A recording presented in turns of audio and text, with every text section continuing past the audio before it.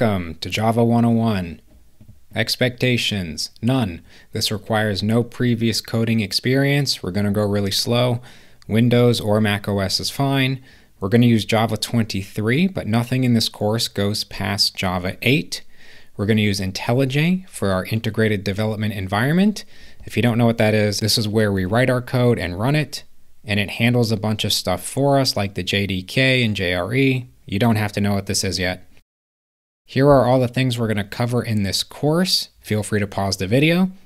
And here's the end game. So Java 101 is followed by Java 102. At that point, you can go in a bunch of different directions. One is data structures and algorithms in Java. But I personally recommend you do something useful with Java, like back-end web development, where you actually build an application, in that case, you would learn Spring Boot, and I do have a course for this. That's what the green check mark means. Or you can do automation testing and web crawlers using Selenium and Cucumber. This is also an area of interest. There's a lot of jobs out there in this field. I have a course on this as well. So make sure once you learn Java, you actually learn what to do with it. What separates this course from everyone else is that there are mandatory practice exercises. Every video will have homework to complete with answers. It'll be in the description. You learn programming by doing, not by listening to me yap. And lastly, this is optional. I do have a Patreon with a private Discord server. Learning online by yourself sucks. We have a whole community with live help from me and other students. And for context, Udemy courses can run 20 to 50 bucks and they have no live help, no community. This is better and cheaper. And with that, let's get started. Go to the IntelliJ website the link is in the description. Do not click IntelliJ IDEA Ultimate. This one costs money. Scroll down to IntelliJ IDEA Community Edition. Select your version, download, and install.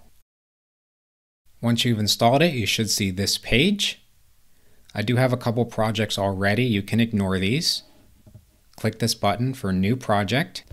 I'm going to name it Java 101. My location is in Documents folder, that's fine. Do not check this button. Our build system will be IntelliJ for now. For the JDK, notice it says dash 23, that's Java version 23. This is fine. You're welcome to use another version if you want to, but for this course, we're doing the latest one. Make sure to check this box, add sample code, and uncheck this box, generate code with onboarding tips, and this is our advanced settings if you need to see them. When you're done, click the blue Create button. So here is our newly created Java project.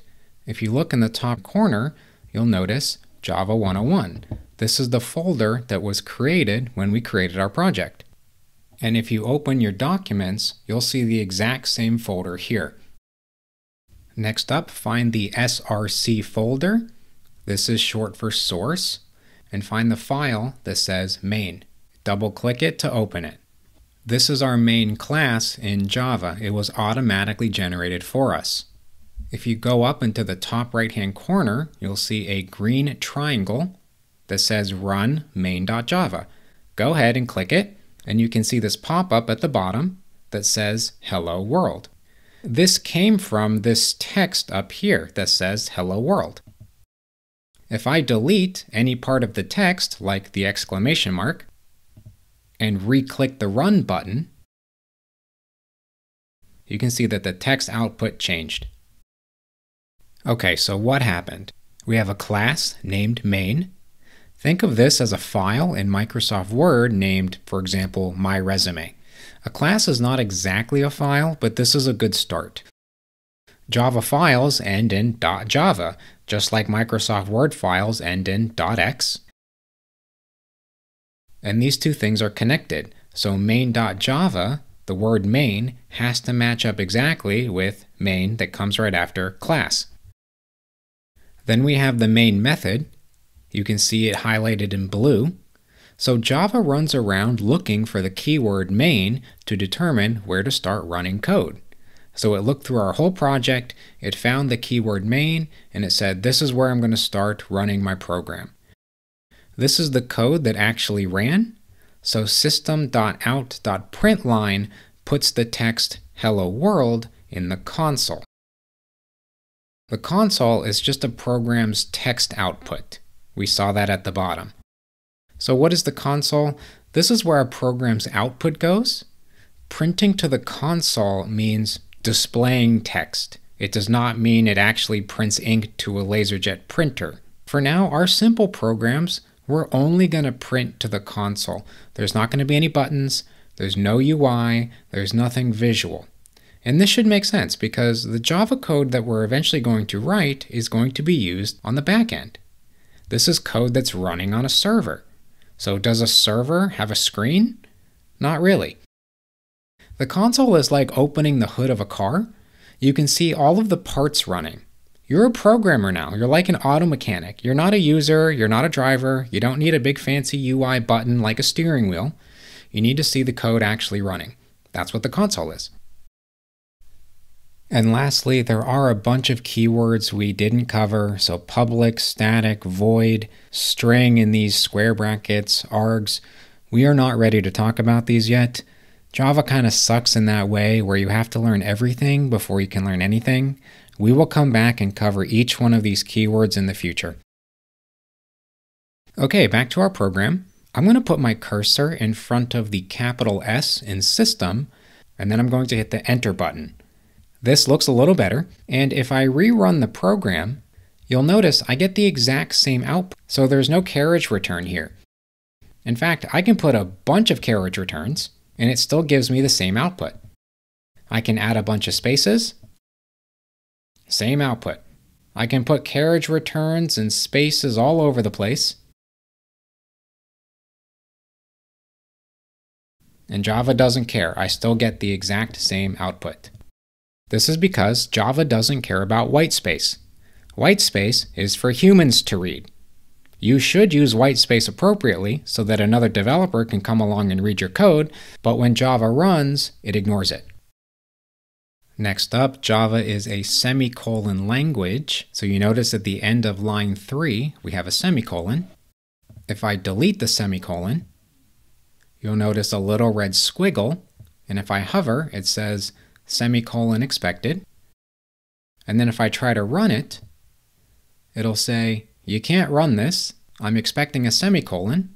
And if you look here, it even tells you what line it's expecting it on, line 3.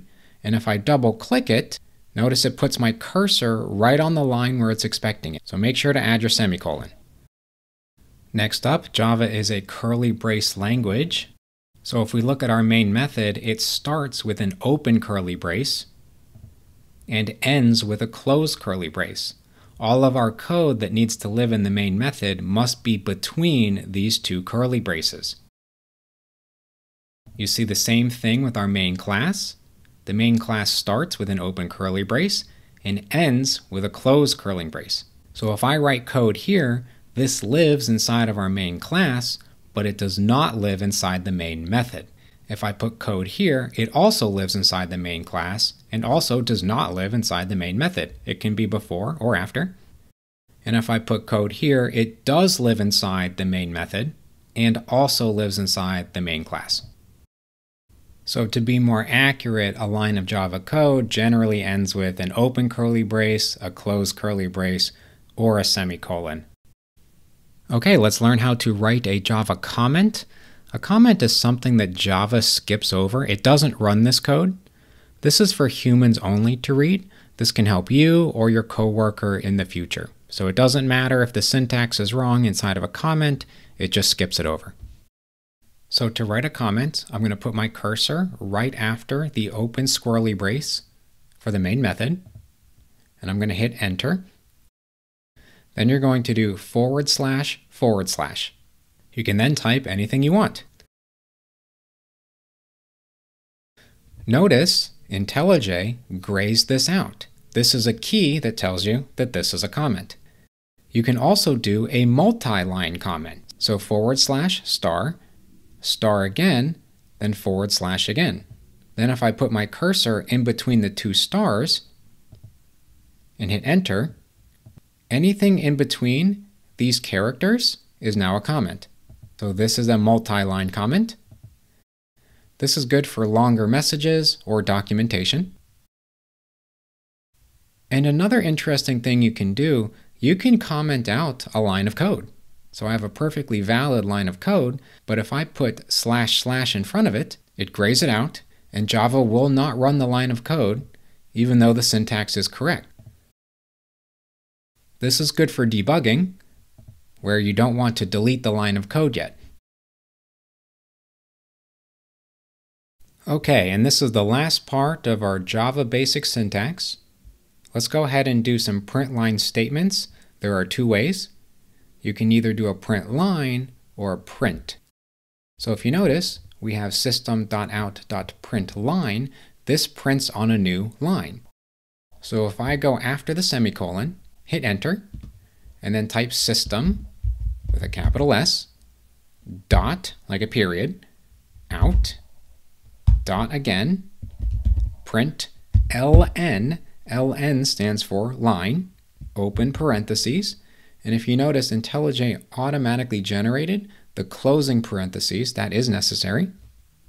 We then do double quotes, and you notice IntelliJ did the exact same thing. It also gave us our closing double quotes. Now we can write anything we want. I'm then going to move the cursor all the way to the end to make sure we put in our semicolon. When we run this, notice it printed out each thing on its own line. That's because it was print line. If I change this to just say print, I'm going to delete the ln on both of them. It now puts it on the exact same line. Notice it did not give us any white space or any space, so to do this, we would have to add an extra space.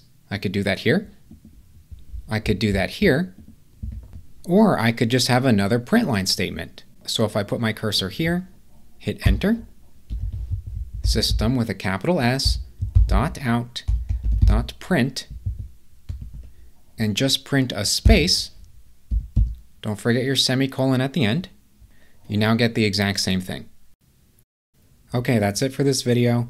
Go ahead and do the exercises, see the description, answer the multiple choice questions, and also I give shortcut keys in IntelliJ. You need to start memorizing these now. Good luck.